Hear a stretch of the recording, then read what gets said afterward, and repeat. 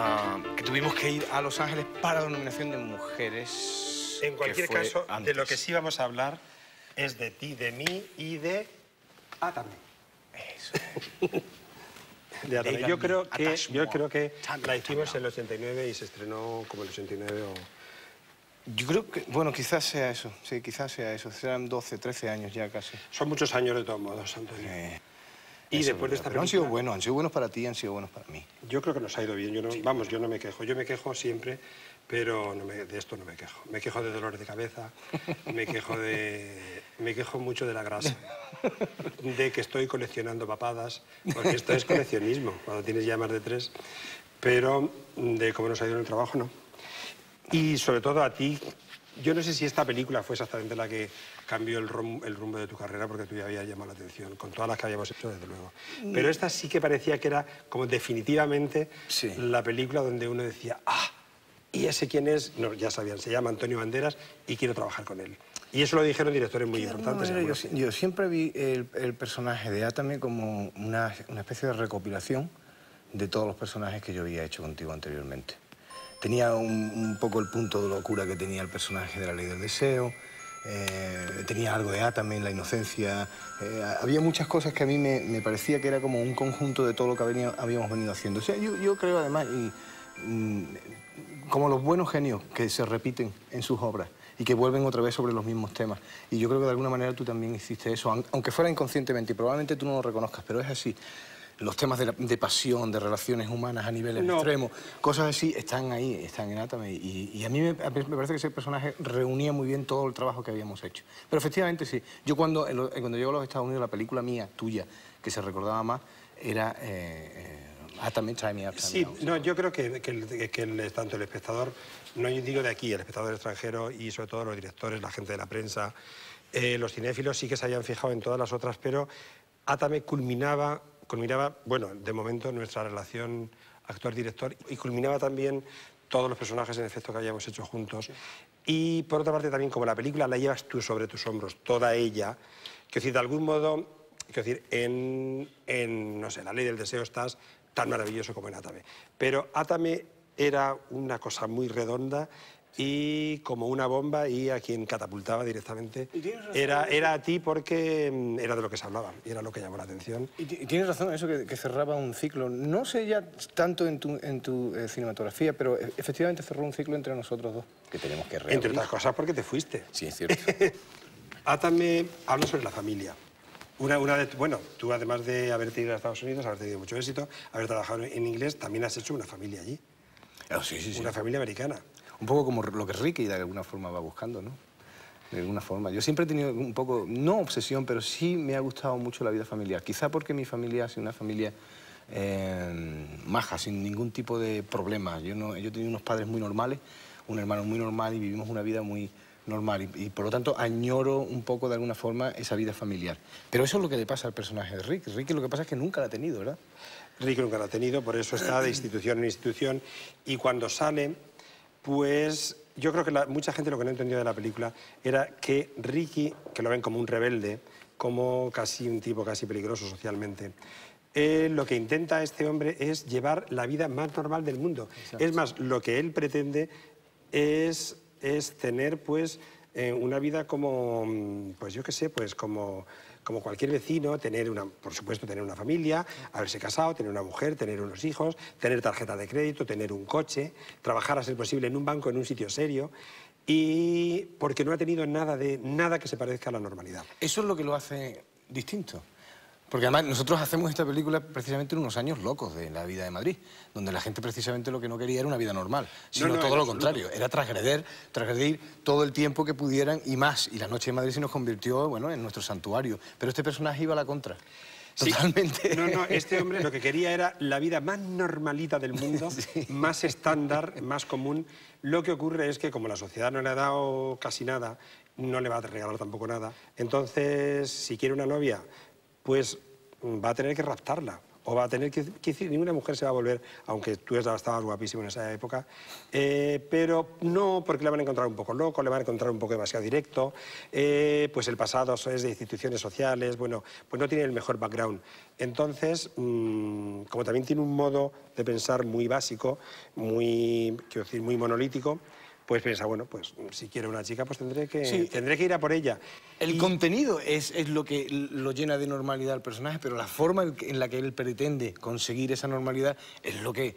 Eh, es lo que le convierte en un gran personaje romántico y a la vez en un ser aparentemente peligroso. Para mí, la película es una historia completamente romántica. Es una historia de amor, casi, casi una historia de hadas, de amor, pero de hadas. Es decir, eh, pero el momento de violencia que él tiene con el personaje de Victoria Abril es lo que confundió mucho, por lo menos a los, espectadores del otro lado del océano y algunas feministas alemanas, algunas feministas, alemanas. Lo que no entendían las feministas alemanas y algunos personajes, algunos personajes del mundo de la prensa, fundamentalmente que se engancharon contra la película por temas eh, ya más sociales que cinematográficos, es que mm, por qué este personaje que teóricamente y socialmente es un cabrón, que, está atando a una mujer a la cama, que la está forzando a amarlo, eh, cae tan simpático. Eso no lo podían entender. Eso no podían entender que el personaje fuera adorable, pero es que simplemente lo era. Pero es adorable desde el momento en que lo mira sin prejuicios, es adorable. Porque, como yo he explicado mil veces, él no es que no disfruta, y además lo dice, oye, a mí esto no me gusta, y lo está pasando mal. Él no, quiero decir, no es un sádico. Eh, no disfruta raptándola a ella y atándola. Es decir, lo que hace es inmovilizarla, para poder lanzar el mensaje. Para poder decir, mira, nadie te va a creer como yo. Y como no hay modo de, demostrártelo, te vas a quedar ahí quieta, más que nada, te voy a obligar a que te quedes quieta, porque te lo voy a demostrar. Y en el momento que lo descubras, no hará falta ni que te ate ni que nada, simplemente me tienes que querer como porque es que no hay nadie, nadie que te vaya a querer más. Y pero lo que pasa es que la inmoviliza con violencia. Pero no se trata de violencia sexual. Nunca no. él la pone una mano encima en ese sentido hasta que ella no accede. No, porque en eso también es muy antiguo. Es como... Tiene que ser formal, tiene que ella que acceder a sí, Sí, sí, sí, sí. No, no, no, no, porque si no, no, él no quiere, él no quiere aprovecharse de las circunstancias. Y se da de forma accidental, se da porque en realidad ella comprende lo que está sufriendo para, para, para, servirla de alguna manera, porque lo manda a la calle cada dos por tres y este está por traerle Y cuando vuelve hecho un Cristo es cuando realmente recibe su premio. Viendo las fotos me no daba crédito porque yo pienso como que tú y yo no habíamos cambiado nada físicamente. Que tú habías madurado, ¿cómo se dice? Eh, que tú habías llegado a conseguir el esplendor de tu juventud y de tu belleza y que yo simplemente, bueno, pues nada, me había dejado llevar por el tiempo y me había puesto a coleccionar papadas. Pero, pero, hemos cambiado los dos, ¿eh? Pero es que con esta barba yo estoy igual. ¿Eh? sin la barba estás igual. Yo estoy igual, igual. No, se nota que has madrugado algunos días para ir a rodar allí. Sí, es cierto. No, viendo las fotos realmente ahí hacía muchísimo tiempo.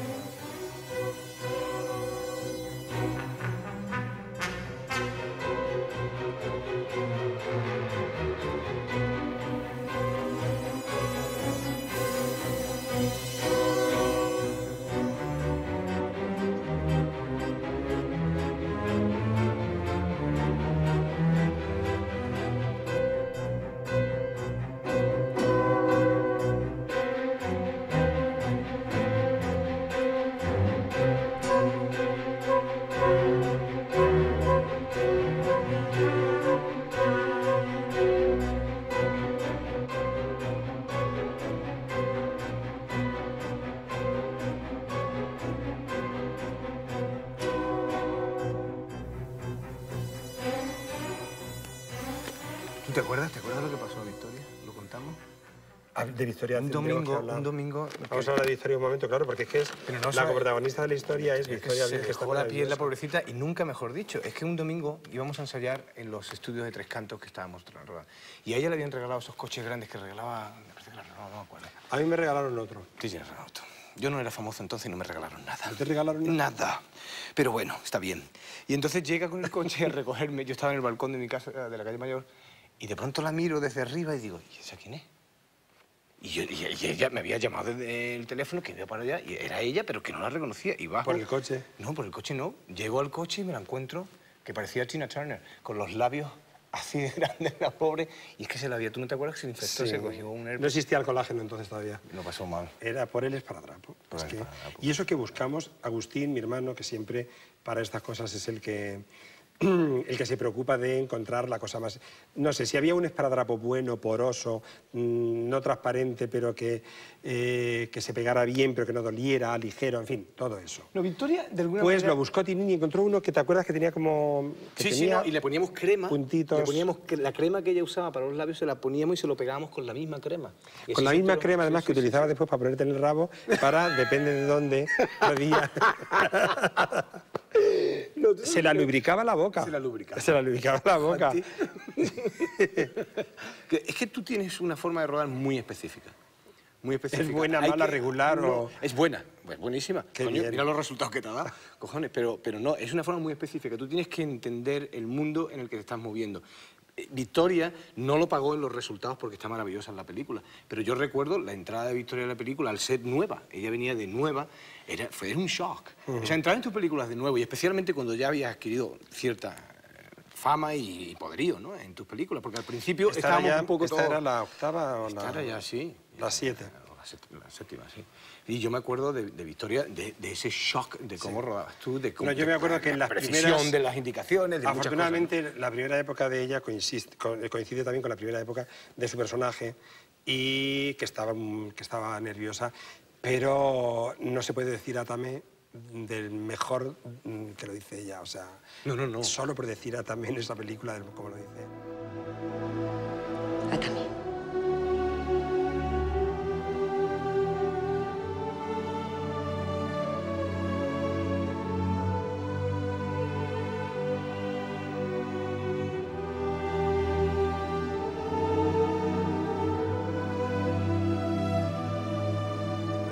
Maravillosa después. Pero yo la recuerdo. la- la- la yo la volviste a llamar y yo la recuerdo, más pero sí la recuerdo nerviosa al principio. No, después ahora lo que pasa es que Victoria también es una, es una mujer muy física. Y aunque yo no quisiera ponerle todo el tiempo, ella es de pónmelo y me lo quita. Que a lo mejor te quito el labio, tú me quitas el labio y ya veremos. Me pones después otro labio. Si a mí las cosas que tú pides me las hubiera pedido un tipo que yo veo que no está seguro de lo que está haciendo, probablemente me hubiera pegado un tiro.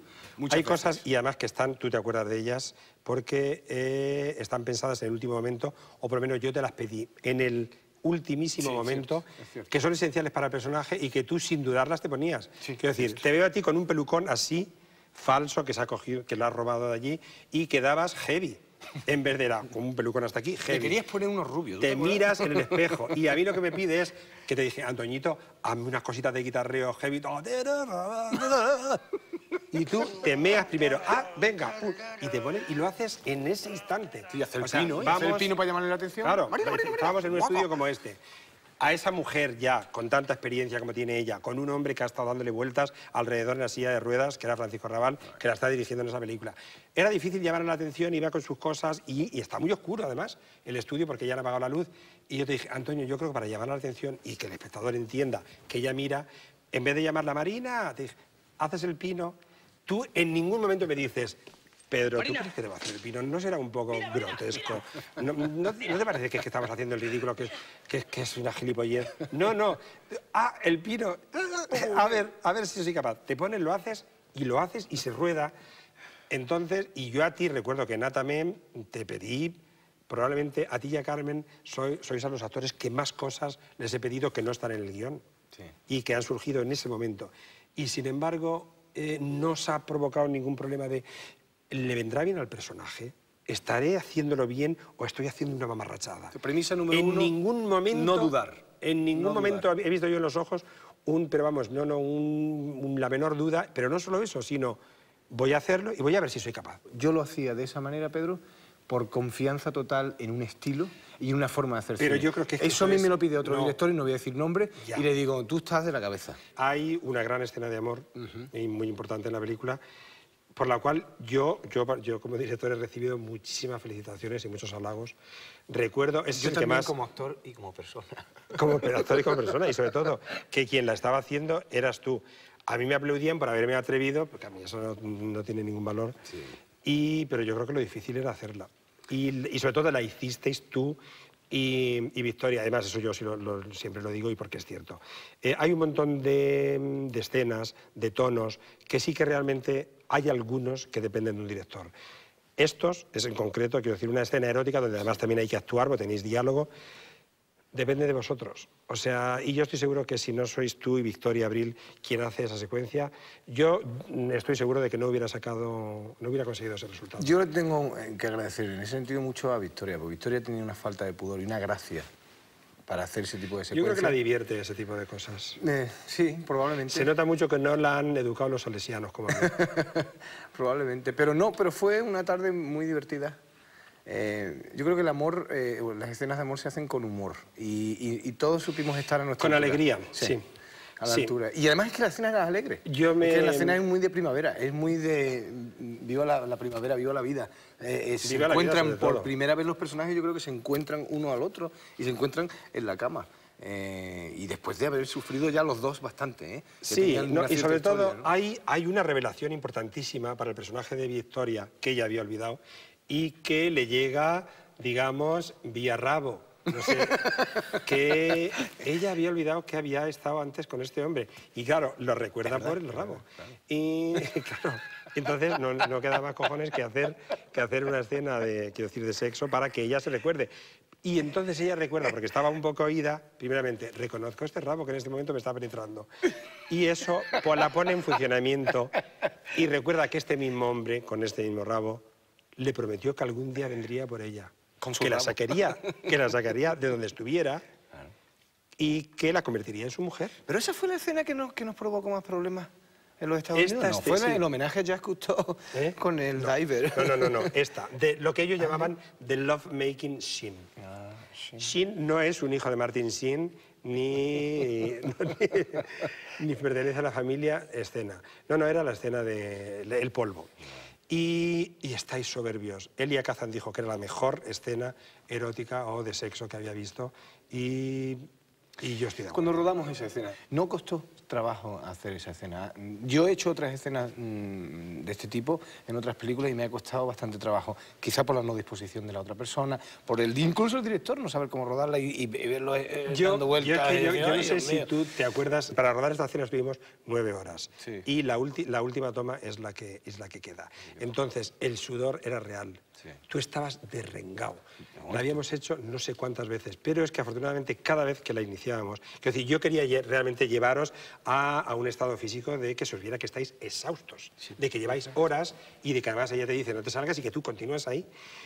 Y a veces eso se consigue pues simplemente, quiero decir, dejándose exhaustos de verdad. Pero había muchas otras tomas también que eran perfectamente eh, buenas. Pero Quiero decir, tú estabas hecho polvo, los, los sonidos que, que, que, emitís son auténticos, eh, las risas, eh, eh, los gemidos. Y, y, hay una cosa que yo espero que el espectador de DVD también que pueda comprobar, que estamos aquí. Es decir, quiero decir, ni se a se ve nada, ni a Victoria se le ve ni el pecho. el único momento que se ve algo es un reflejo que hay en, en, el techo. En el techo que se pues, ve multiplicado como un caleidoscopio. A pesar de que no se ve nada, los miembros de la MPAA, Motion Picture Association of America, les parecía que aquello era demasiado. Eh, y nos quisieron poner una X, como tú bien te acuerdas.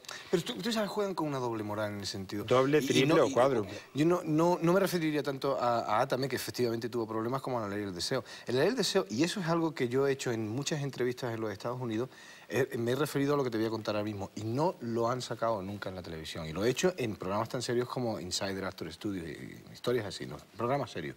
Pero, por ejemplo, es el personaje de la ley del deseo. El personaje de la ley del deseo era un homosexual que se besaba y explícitamente hacía el amor con el personaje que interpretaba Eusebio. Pero el personaje era un criminal, porque mataba a Mickey Molina, y eso no importaba.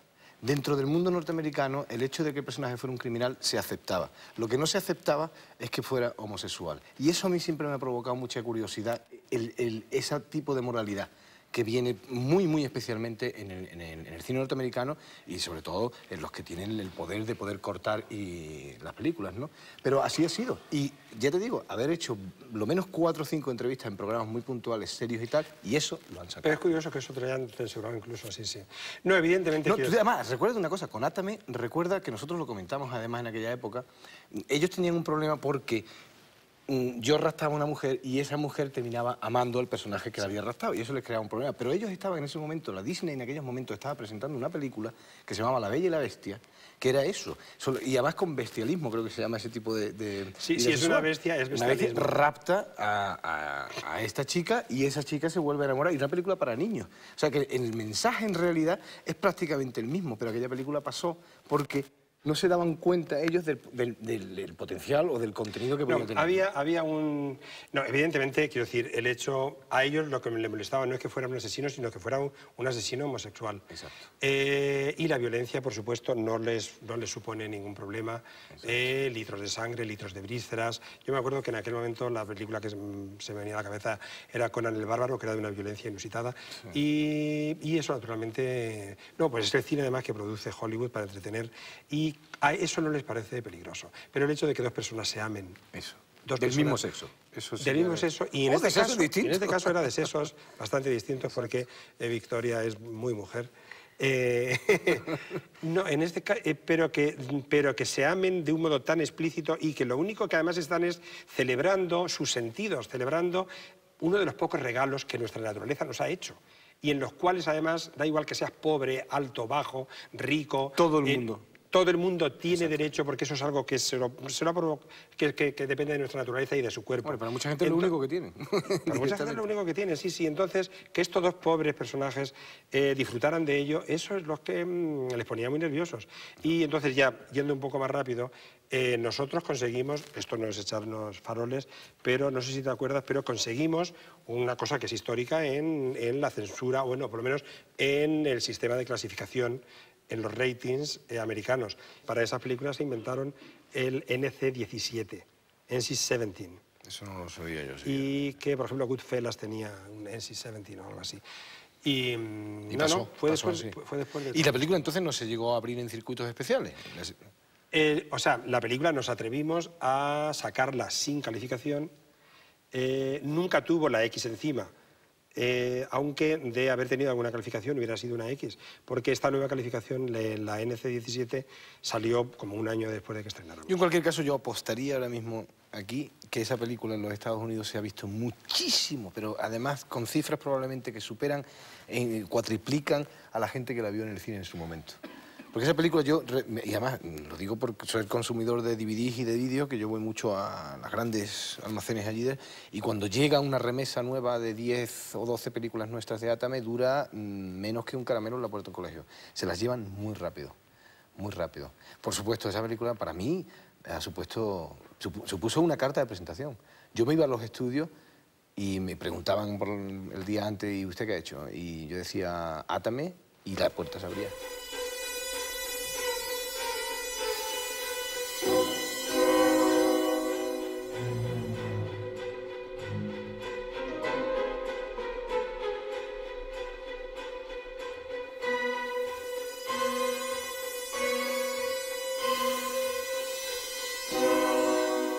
Atame es una pieza clave para todos los alumnos, por ejemplo, de, de todas las academias. ¿eh? Me consta porque me lo dicen cada generación de alumnos y profesores, pero es una pieza clave y muy sencilla. Y, y es más, ahora se va a publicar un libro con escenas tuyas para que ellos ya se las puedan estudiar en un libro. Esta película me marca tanto y ese personaje me marca tanto que en algunas películas yo sí me he sentido como que Ricky de alguna manera venía otra vez. Y me pasó, por ejemplo, Y la película del instalaba en. Sí, en la película del boxeo eh, hay una cierta infantilidad en el personaje y, una cierta vehemencia y vulnerabilidad al mismo tiempo que tenía algo que ver en un contexto totalmente diferente y una película totalmente diferente. Pero sí he sentido como que el personaje de vez en cuando viene y me posee. En cualquier caso, Ser. yo no concibo esta película sin, sin ti. Y creo que la película te debe muchísimo. Que este personaje es tan grande porque lo has hecho tú. Yo también le debo Y la porque, mm, porque lo has hecho tú y porque lo has hecho en ese momento. En el- no nos acordamos si es 89, 88 o 90, pero mm, Átame te debe mucho, Antonio. Y como te debe tanto, pues yo te voy a pedir una cosa, que nos despidas esta, esta entrevista improvisadísima. Fíjate, yo con lo bien que hago entrevistas y que no me encuentro... Pues mira, no solamente por Ricky, que es probablemente el personaje que yo más quiero de los que he hecho contigo, sino por todos los personajes que hicimos contigo, se con- me convirtió en años más tarde, en una noche en Hollywood, en uno de los momentos más bonitos de mi carrera, cuando te veía venir desde tu sitio en la, en la academia y yo tenía un Oscar en la mano que te lo iba a dar. Esos fueron para mí momentos muy bonitos porque me hizo recordar no solamente ya las cinco películas que habíamos hecho juntos, sino toda una vida. Es que fueron muchos años juntos, Pedrito. Muchos años, Unos años muy intensos. Y ahora que eres, que eres maduro, porque ya has perdido, quiero decir, no eres un adolescente como Ricky. Sí lo soy, todavía. No, pero ahora que eres maduro, desde la madurez, desde la conciencia, desde ser dueño, desde esta situación de ser dueño de tus decisiones, que vamos a intentar repetir este logro. Totalmente. Totalmente. Anunciamos ya desde el DVD de ¿eh? Atame que tenemos Desde que hacer el DVD Tarántula. tenemos que hacer, eh, no sé si nos acerca, es que será otra película. Será otra película, pero por lo menos darnos el gustazo y la oportunidad Nos lo merecemos. de reunirnos otra vez. Totalmente. Venga.